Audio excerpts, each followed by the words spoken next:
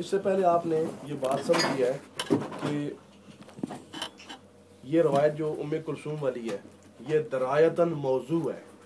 दरायतन मौजू है, यानी मौजू उसको कहते हैं जो फेब्रिकेटेड हो झूठी हो। दरायत के लिहाज से हमने साबित कर दिया कि दरायतन ये मौजू रवायत। अब इस पर हमारे किबला मुफ्ती साहब अपनी किताब हसब नसब जिद नंबर दो, वॉल्यूम टू में page number one eighty seven पर यह बात, उसकी आखिरी लाइन में ये बात लिख रहे हैं। कि इस रवायत में एक रावी है उसका नाम है सुफियान बिन वकी जिसके मतलब किताबुलफसूल के मुतरजम अल्लामा हुरैरी लिखते हैं कि सुफियान बिन वकी ज़यीफ़ है। ये ज़यीफ़ है। जो इसका बुनियादी तौर पर बयान करने वाला बंदा है वही ज़यीफ़ है। उसके बाद जो इस रवायत की इसने रवायत की है। सुफियान बिन वकी he he doing riwayat of somebody else and somebody else till yeah. it gets back to yeah. Ibn Qatada हाँ yeah हज़रत कतादा Hazrat Qatada ये okay ठीक है ना so the original person who who narrated it piece all all leads back to Hazrat Qatada ये and जो इमाम बेहकी है ना वो ये बात कह रहे हैं उन्होंने किताब फसूल के अंदर ये बात की है तो उसका मुतरजम जो है वो लामा हुरैरी है वो ये बात बता रहा है।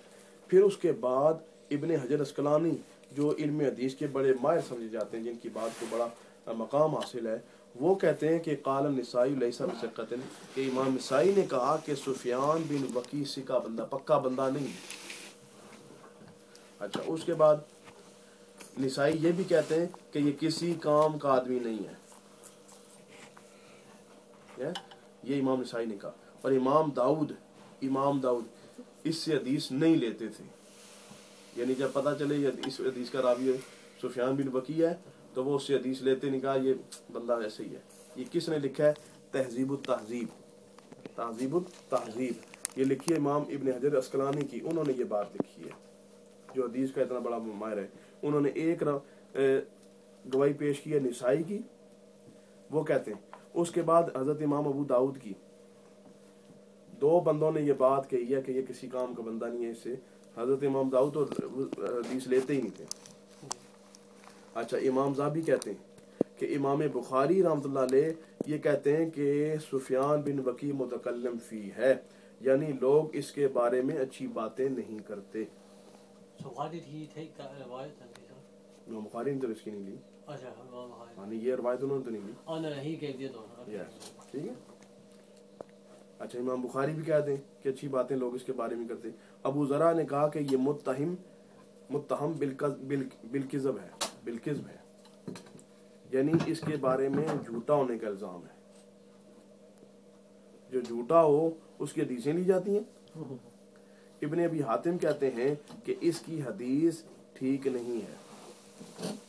अब इतने मुहदसिन मिलकर एक रावी के बारे में ये बताएँ कोई कहें कि ये मुस्तहम है झूठ के साथ।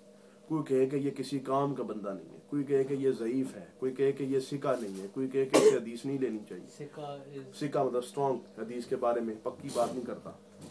जब इतनी नेगेटिव बातें किसी के बारे में इतने बड़े बड़े इमाम अपनी किताबों में लिख जाएँ तो क्या ऐसे बंदे की हदीस तुम्हें मिली थी लेने के लिए?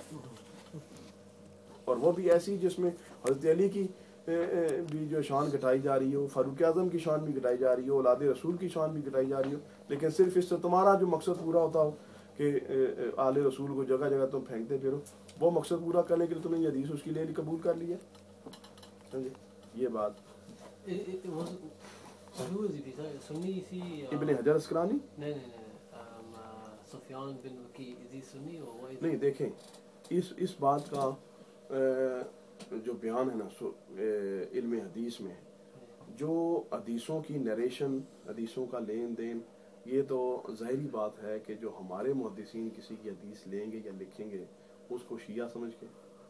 शिया से मुराद आज वाला शिया अगर हो या राफजी हो, वो नहीं है। पुराने वक्त में शिया जो समझे जाते थे, वो वो लोग थे जो हज़रत अली से ज़्यादा मोहब्बत करते थे और सहाबा कराम की भी इज़्ज़त करते थे। लेकिन जमाती तौर पर वो अपने आप को हज़रत अली की जमात समझते थे।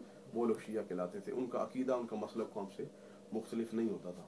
इसी तरह रावियों में मुख्तलिफ़ रावी जिनका अकीदा बाद ऐसे भी रावी निकलेंगे जो मोतला होंगे।